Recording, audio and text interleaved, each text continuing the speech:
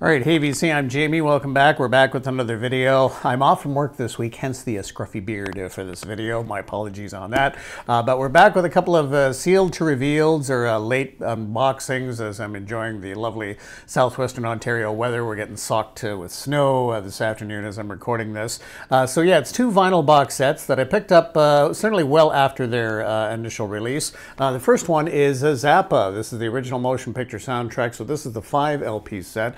I had picked up the uh, three uh, CD uh, set when it was initially released and absolutely thoroughly enjoyed it. Kind of had an eye on the vinyl box set, but initially I thought the price was too much, but I'd seen on Amazon that the price had gone down considerably. So here we are. Uh, and the hype sticker, uh, 180 gram black vinyl edition. I'm assuming there's other colored vinyl editions. Uh, contains the original motion picture soundtrack to the acclaimed Zappa documentary by Alex Winter. Features unreleased material from the vault and standout tracks from Zappa's vast catalog, some pressed on vinyl for the first time. Also includes uh, selections from the original score composed specifically specifically for the film. And again, uh, same number as on the CD in terms of the uh, Zappa archive release. This is number 118 in the Zappa archive release. Okay, so let's uh, open it up and take a look inside. And this one is presented in the sort of the standard uh, kind of box, which you're not seeing quite so much. You're seeing a lot of the slip cases and that sort of thing, but this is in the sort of more traditional box, which is kind of nice. I do like that. Okay, let's get the shrink off here. All right, I'll just put that over there. Of course, we'll save the hype sticker for later. And there we have it. Very nice.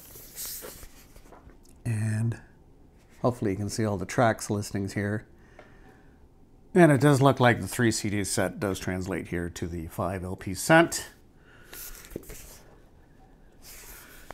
Then we got, yeah, 118 Zappa original motion picture soundtrack.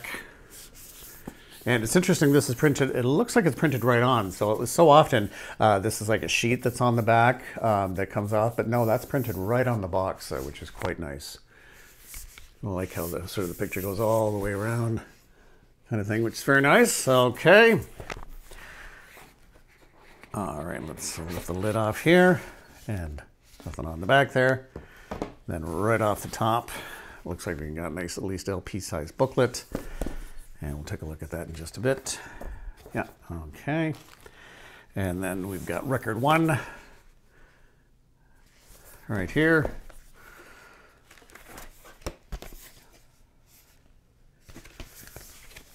And they're all like listed. I don't know, you can't really see that. It just says the original motion picture soundtrack record one.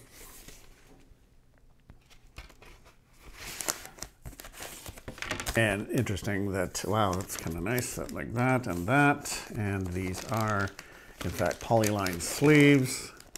But uh, yeah, I like the, the fact that it matches the cover. That is very nice. And overall, an absolutely terrific, like, uh, amazing soundtrack.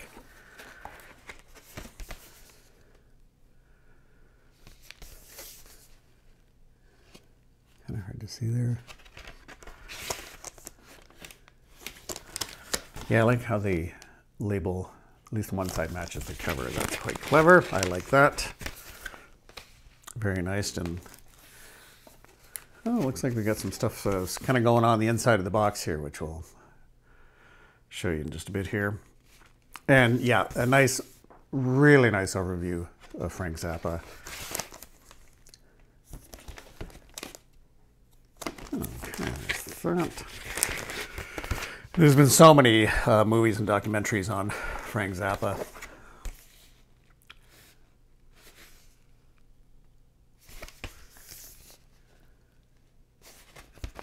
Okay, there's. Oh, so this one. Okay, there you go. Replicating the back there as well.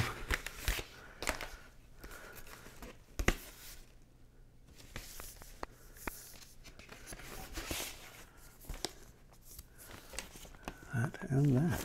Yeah, that's so that's pretty nice. I really like the way that they, with the idea for the labels, the way they've uh, replicated uh, sort of both the cover and the back, uh, if you will. That's really quite clever, the back and then the front. That is, that's quite clever. quite clever indeed. And then there's actually, uh, on the LP box here, there's actually writing uh, going on the inside here. Oh, which is kind of a nice little touch here. Okay. It says, My desires are simple. All I want to do is get a good performance and a good recording of everything that I ever wrote so I can hear it. And if anybody else wants to hear it, that's great too. Sounds easy, but it's really hard to do. it's a great uh, Zappa quote. So I'm just going to quickly uh, put this over here, get this out of the way, and then we'll take a look at the booklet. And I don't know, it's just, uh, I mean, it's kind of hard to say uh, without going through it piece by piece, but boy, it seems like I don't know. There are more pictures kind of available uh, uh, in the in the uh, vinyl uh, box set than maybe is available uh, on, with this booklet. That's quite possible. I don't know. So let's take a look at the LP size booklet that they have here, and it's not too not too big, maybe not too extensive, but let's see what we've got here. Okay. So yeah, not a lot of analysis or text, that's for sure.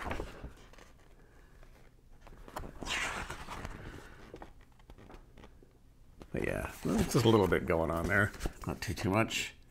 But again, uh, by comparison, so this again is the C set. That. And we've got some replicated on that. And then uh, the booklet for here, I guess is replicating, yes, it's certainly replicating some of the, uh, see all the LP uh, covers. Uh, through this booklet here, which is nice, you know, it's, you know, they're, you don't feel like you're getting shortchanged. It's not too, too bad. Okay, so there you have it. That's the uh, Frank Zappa one. And the other one that I picked up at my record store, I don't know why I waited so long and it wasn't necessarily on sale or anything like that, but I just was like, okay, I've seen so many people uh, talk about this and it's such an iconic set. Uh, this is uh, Grateful Dead, uh, Fillmore West, 1969, uh, March 2nd, part of a series of releases, and Grateful Dead's final performance from the historic 1969 four night run at the Fillmore West, first time on vinyl 5 LP, 180 gram vinyl, and etched 10th side. Limited edition of 9,000. This was a record, record store day exclusive. Uh, mixed and mastered from the original 16 uh, track analogs tapes by Jeffrey Norman and uh, produced for release by David Lemieux. Yeah, I've seen that. You know, so many people show this for whatever reason. I didn't pick it up initially. Limited edition 9000. Um, and I'm not sure where the number uh, is on this offhand, uh, but not that it matters. Again, on Rhino Records, and again, the same style of uh, box as the Frank Zappa one, so that's kind of nice.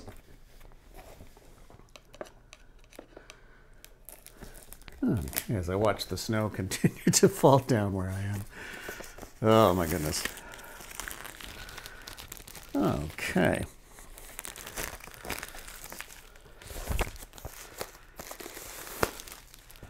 Yeah, the slipcase is fine. I don't mind it, but I'm still a fan of just when the lid, like the sort of more traditional uh, style for LP uh, boxes. And you get that kind of shine going on there. So again, legendary performances and nothing on the back there. Okay, there's that. And it looks like we've got, we open it up with the looks like I'm assuming the booklet right off the top here. And oh, it's just a yeah, just a very straightforward. Lots to read, but that is it. And again, here's there's the spotlight on the band.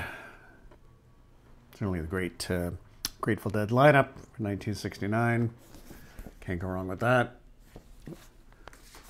And then the uh, LPs are simply housed in like that. Okay, and there's no, I don't think there's any ribbon or anything like that. No, it doesn't appear to be.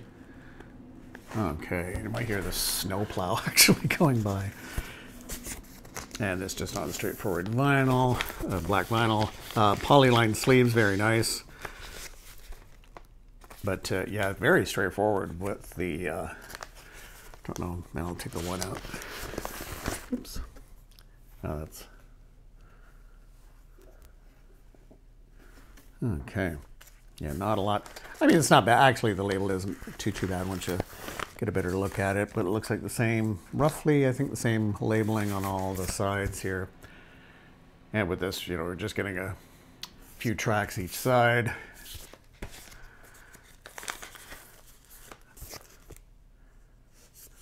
But yeah, we'll have to take, of course, a look at the etched vinyls side.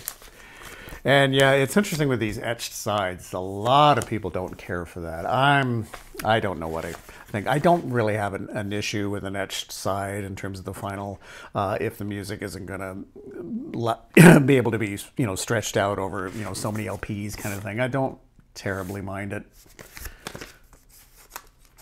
But I do feel, yeah, I can see where you, oh, wow. that is, that is pretty cool.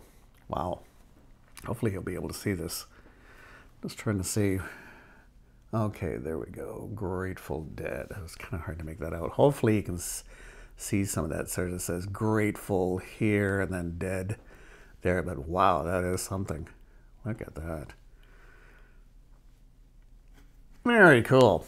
But yeah, again, with the niche side, you feel like uh, you're getting kind of ripped off music or having to pay for the product where you're not even getting, you know, music on that side. But ah, it is what it is. And sometimes you get some pretty cool etchings, for sure. Okay, so there you go. We got a little bit of Grateful Dead and a little bit of Frank Zappa. So that's uh, going to do it uh, for me. Uh, and uh, we will chat again soon. I probably got to go out and uh, shovel some snow. So again, uh, do take care and we'll chat again soon. Take care. Bye-bye.